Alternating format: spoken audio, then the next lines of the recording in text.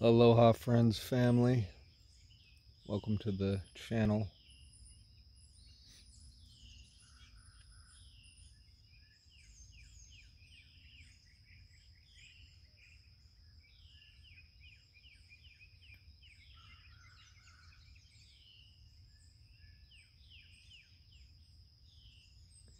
It's not only erroneous to think that you could die.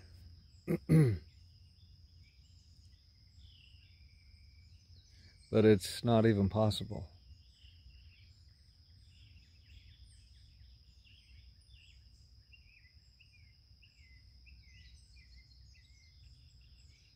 Now, again, are you seeing yourself as a mortal human?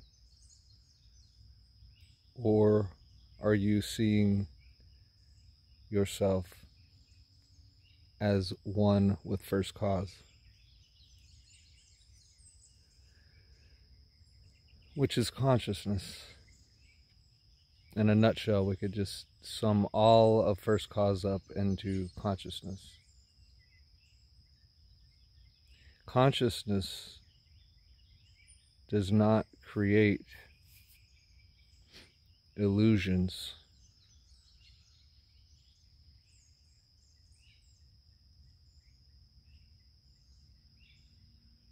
So if consciousness doesn't create illusions, where where do the illusions come from? And what are the illusions?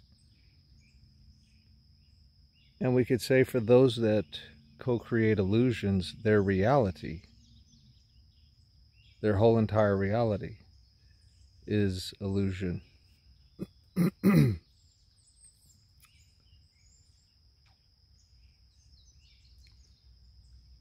Illusions die.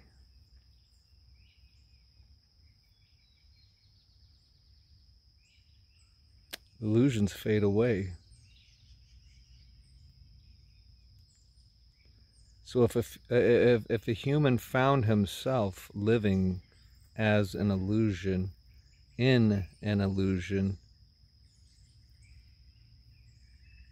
then he would be convinced that he and everyone else was going to die. And he would be right about that because illusions die. But if he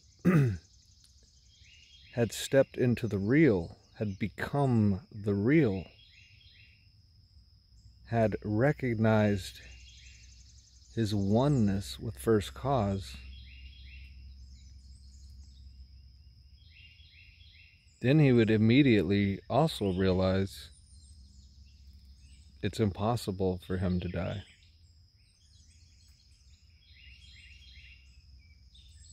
Because what first cause is doing is eternal. Consciousness is eternal if I am part of that consciousness, if you are part of that consciousness, you are eternal.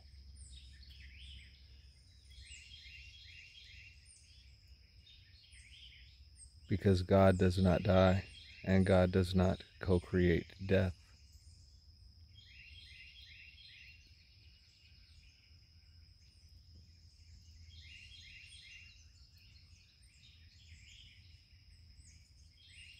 So, depending on where we are mentally, spiritually, physically, and which reality we reside in. We say that there are two realities. There's really only one reality. Again, we're dealing with reality and illusion. But when you're in the illusion and of the illusion, you feel like and believe that that illusion is just as real as the real.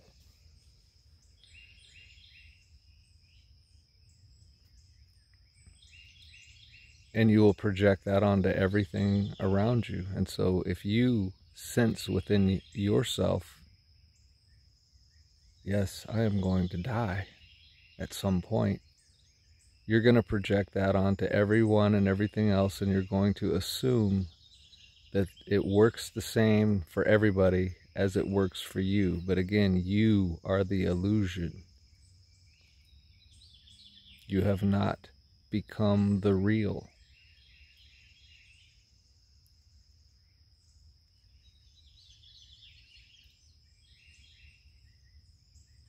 So when we talk about going to heaven or going to Eden or going anywhere, it's really more whatever that whatever wherever that is is coming to you. It's coming to you because again all things come through us. So if you were to find yourself in eden that would have to be coming through you to then manifest for you to say i am in it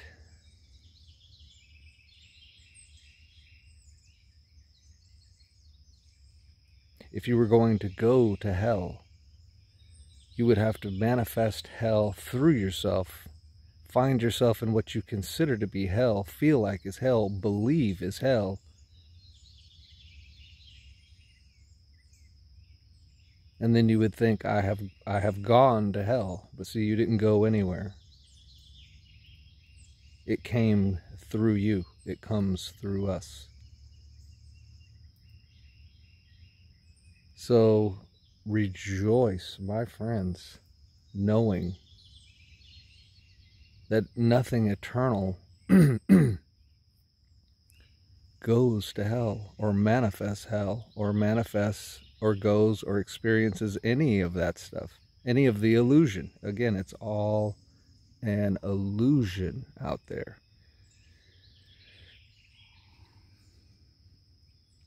the matrix and all of its troubles and problems, we could say that is a hell of a sort, right? That's a type of hell.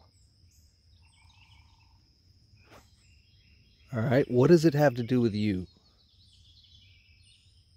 If you're in the real, if you've become the real, or if you're transitioning, because there is, you know, a millisecond of space that you occupy between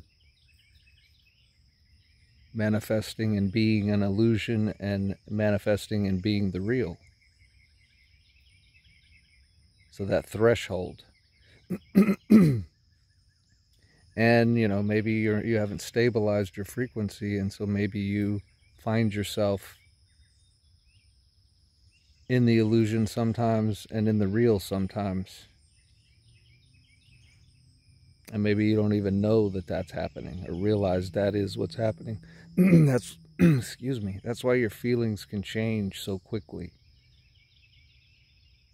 You're feeling great one moment because you've entered the real and then you feel like shit the next day and you don't quite understand why because you've gone back into the illusion and the illusion does not feel like the real It is not blissful like the real.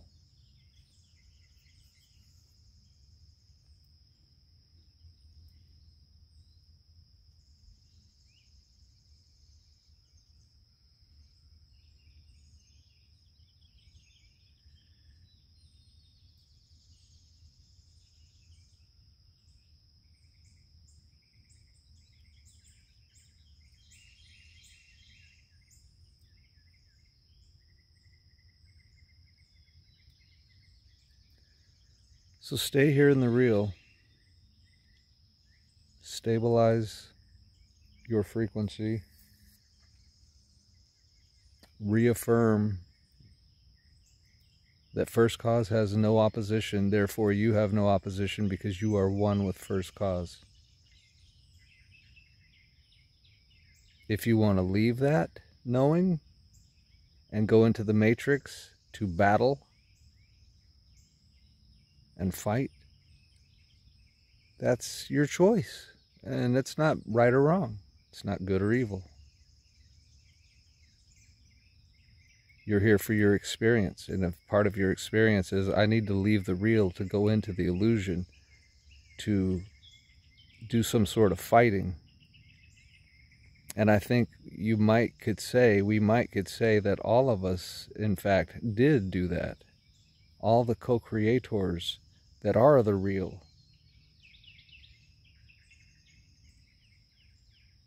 Journeyed into the illusion for whatever reasons. Hopefully to, well, not even hopefully, to battle, you know, to experience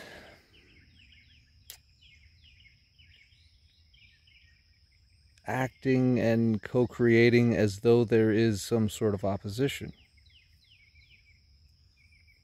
You know, fighting when there's nothing to fight. But in the illusion, you see so many things that should be fought.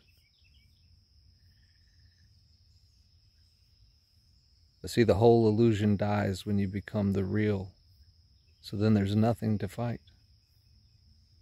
So if, if fight is what you want deep down within yourself, then you're probably going to be in the illusion or visit it frequently so that you can exercise that fight.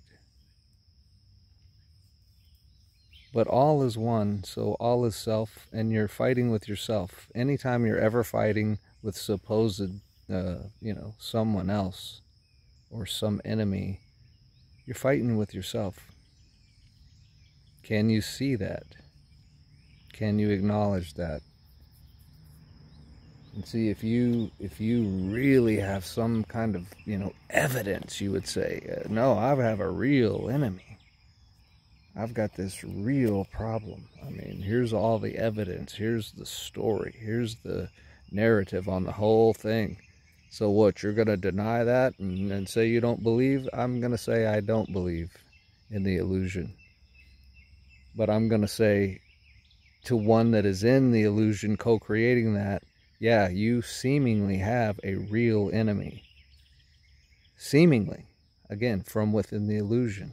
Step out of the illusion, all of that becomes resolved, and you see that you don't have any enemy, and you were, in fact, fighting yourself.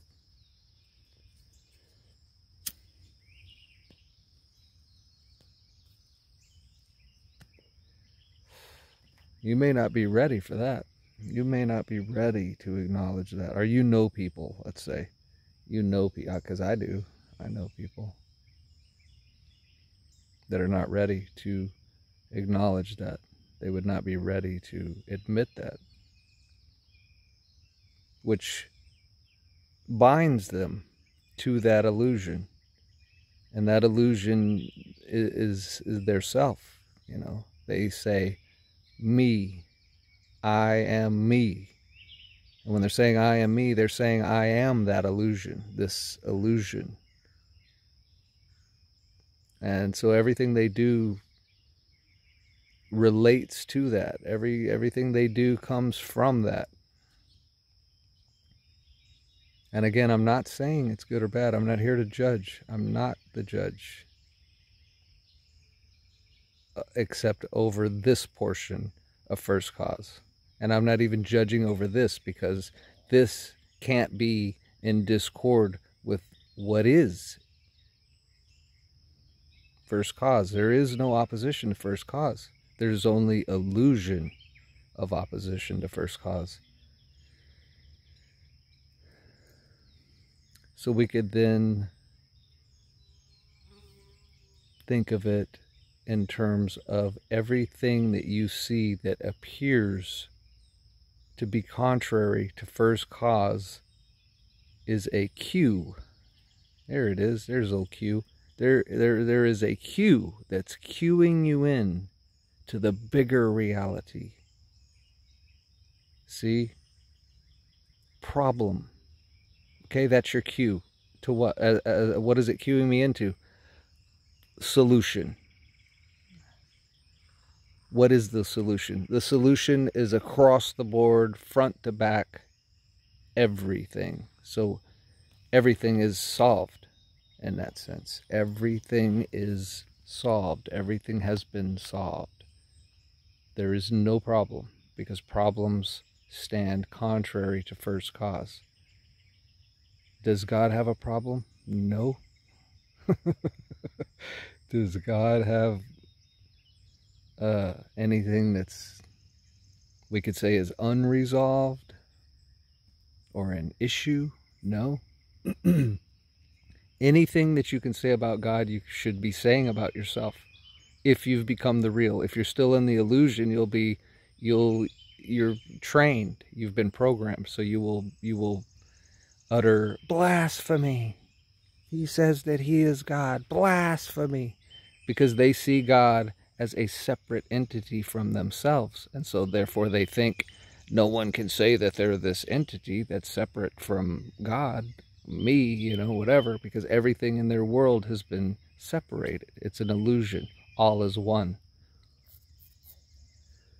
All is one.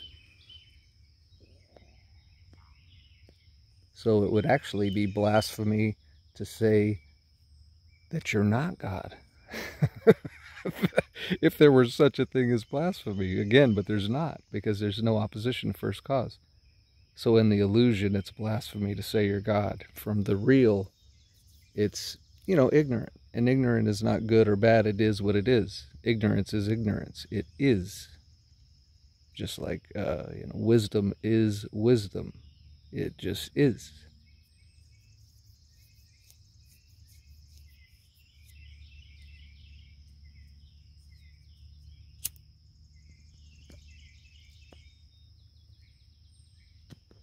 So the whole thing was just recognition. That's it. You know, picture the Wizard of Oz. Picture the the castle crumbling and falling. And prior, just prior to that scene, you know, the curtain got pulled down. The illusion got ex exposed. And the minute the illusion is exposed, it crumbles down, leaving behind the real. See, the whole earth didn't crumble. The woods didn't crumble. The animals were not affected. It was the human perception that was affected.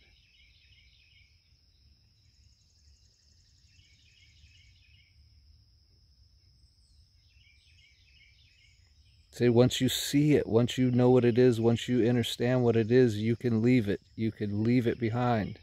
I don't have to keep going back to the illusion and and getting myself filthy and dirty and, and everything else and all the, you know, emotions that come with it and all the uh, wasted, expended energy lost, misused. Why do I want to do that? Why would I? I've become the real.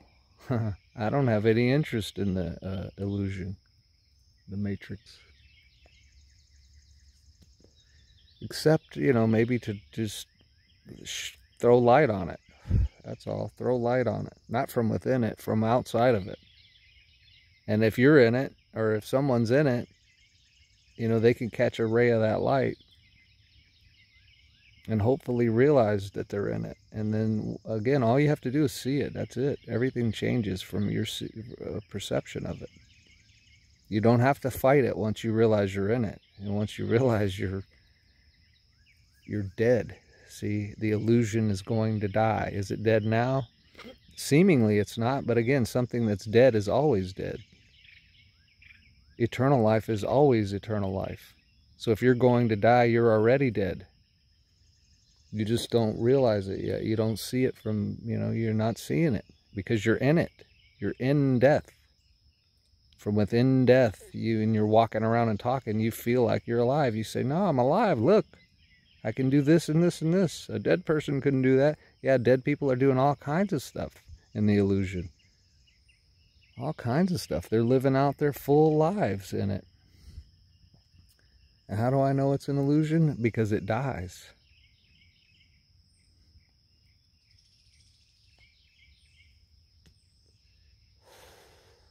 The eternal does not die.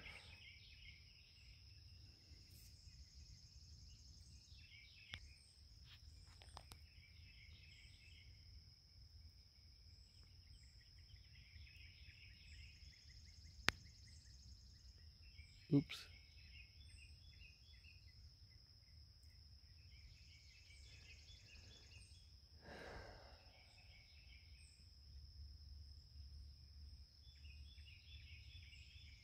Let's apply that to the vaccine story. The vaccine, they're trying to kill you. They're trying to do this. They're trying to do again. They can only do anything to the illusion.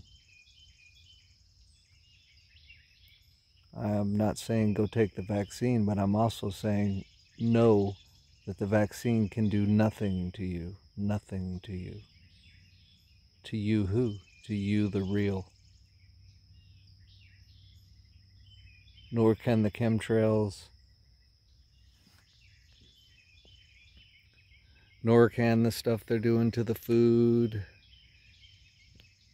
Nothing they do to and in the illusion has any effect on you if you have become the real.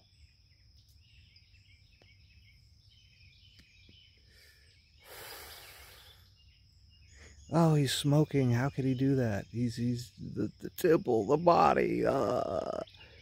I am one with first cause. I'm eternal. And nothing can have any negative adverse effects on me. Nothing. Nothing. Now, if I start believing your belief, it, could that affect me? Yeah, that could. I'm not going to do it, though. I've got a very strong mind. Uh, it was strong before, but now it's real strong. Real strong. And that's that's not boasting because is God's mind strong? Well, God doesn't even have a mind. Well, if he went into human form and he did, would it be strong or would it be weak? Was Jesus' mind strong?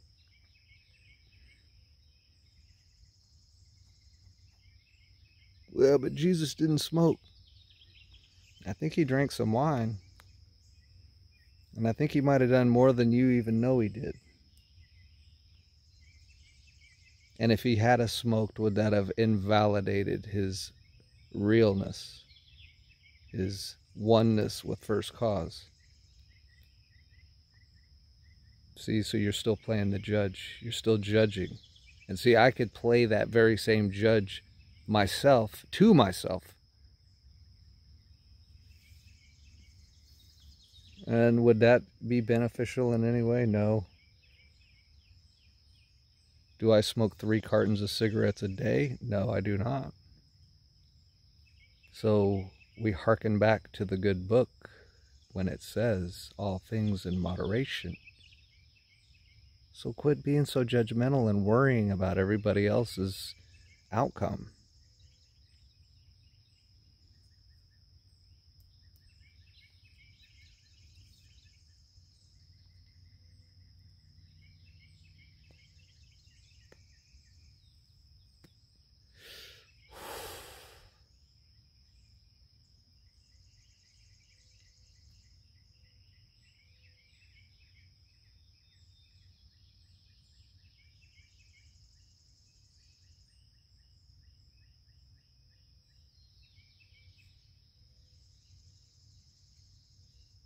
You're free. You're free. See, if you have any thoughts contrary to you are free. You're struggling with the illusion. Because in the illusion, the whatever's in the illusion's not free, right? We know that.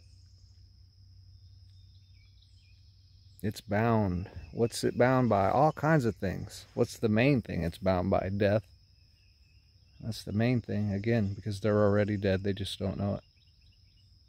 And until they acknowledge it, they won't become alive because they cannot enter the real until they realize they're in the illusion. They are the, they're not in it, they are it. Again, the outside comes from within. So if you are in an illusion, that illusion came through you. So you are not only in it, you're of it you are it you're you're you're creating it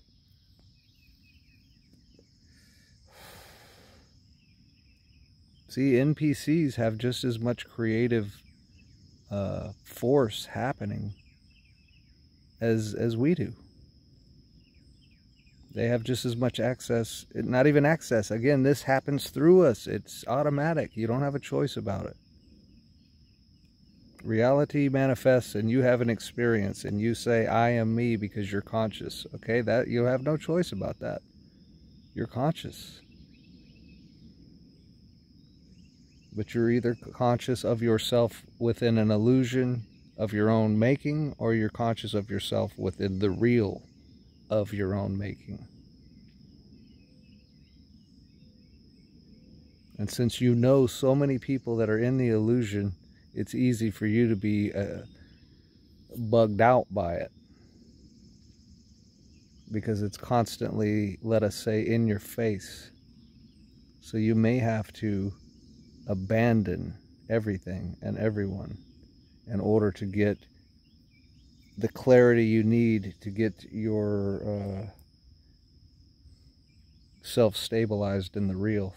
Get your vibration high enough to stabilize you in the real here in Eden.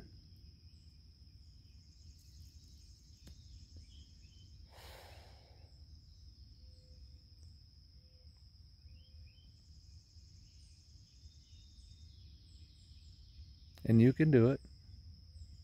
And they can do it. Even they. They being those in the illusion. They can do it. You it's so simple. I mean the whole damn thing will drop away just like the uh, the metaphor of Oz, you know. The curtain gets yanked back, the exposure happens, the whole damn thing crumbles down. And you are immediately and instantaneously free to walk away from it and, and never think about it again.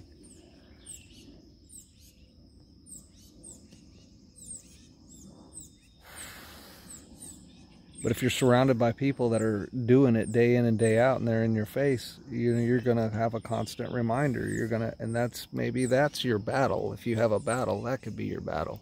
Your battle is to stabilize your frequency in the real, even though you're surrounded by the illusion and people of the illusion, NPCs. And that's a real battle. That's ask anybody doing it. I've done it. Uh, it was a real battle to me. It felt real. It felt, you know, all everything you would experience with battle. It, it's all of that, and it's not very fun, really. I guess when you perceive that you win, you know, that's fun. But winning is not, I killed all the NPCs. Winning is the NPCs dissolved from my reality. They dissolved from my perception.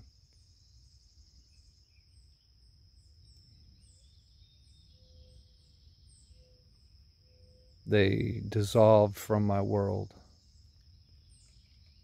Is that possible? I don't know. Is it? Is that possible? I believe that it is. One of my few beliefs. I believe it's possible for the illusion to die because it's already dead. There's nothing that opposes first cause. See, no matter how you come at this, you win. If we're to say win, it's not really, again, an illusion. You're not fighting an illusion. You can't. It's an illusion. But for the human language mind barrier, we say it as you win. So no matter how you come at this, you win. If you're coming at it from the real, if you come at this uh, truth, we could say truth. It's the truth. No matter how you come at the truth, it remains the truth. And anything contrary to that truth is false, is a lie, is an illusion.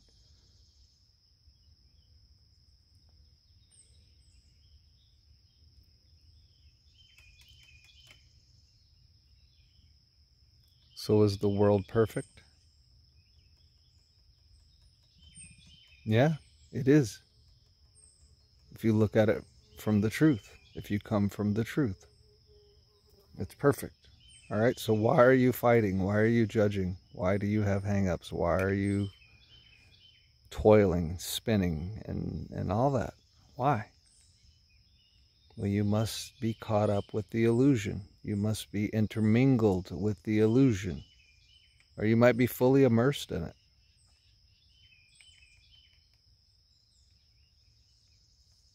Because the world is perfect. Why do I know that? Because God is perfect. Who manifested the world? God. Is God perfect? Yes. Is the world perfect? Yes.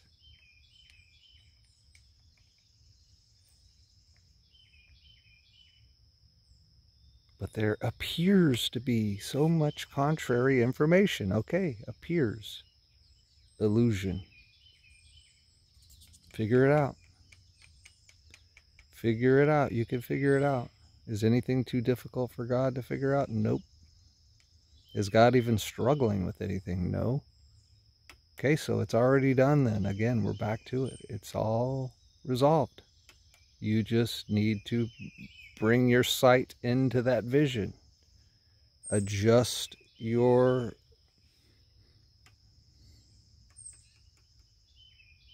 frequency. That's it. Simple. Seemingly simple. well, no, that's, I mean, it is simple. That's it. It is simple. That is the truth. That is the truth. Well, it feels and seems difficult. That's contrary to simple. So I must be, it's within me then. There's something within me still. See, it always comes back to you, the perceiver. the world is perfect. But I perceive this, that, and the other. You're, then that's an error in your perception.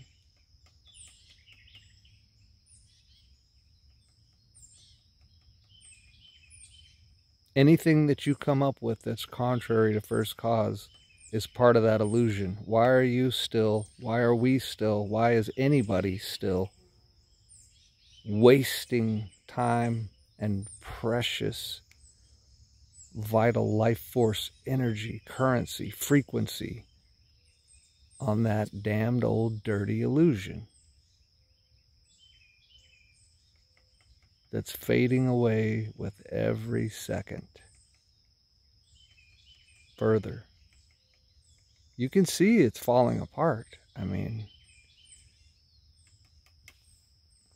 you know, that's all anybody wants to talk about these days the illusion and how it's falling apart and how corrupt it is. Okay. Everybody needed to see that.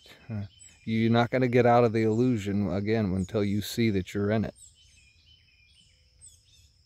And then it immediately could change. So I'm expecting and uh, just intuiting even that uh, many people are exiting with relatively little trouble, little effort. It's not some big hard thing to to get out of it. Because again, it's just a matter of recognition.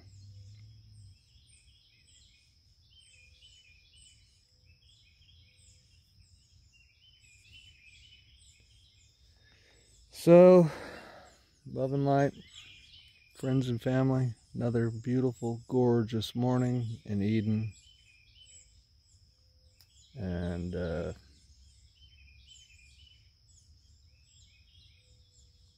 I'm really looking forward to where we're headed, man.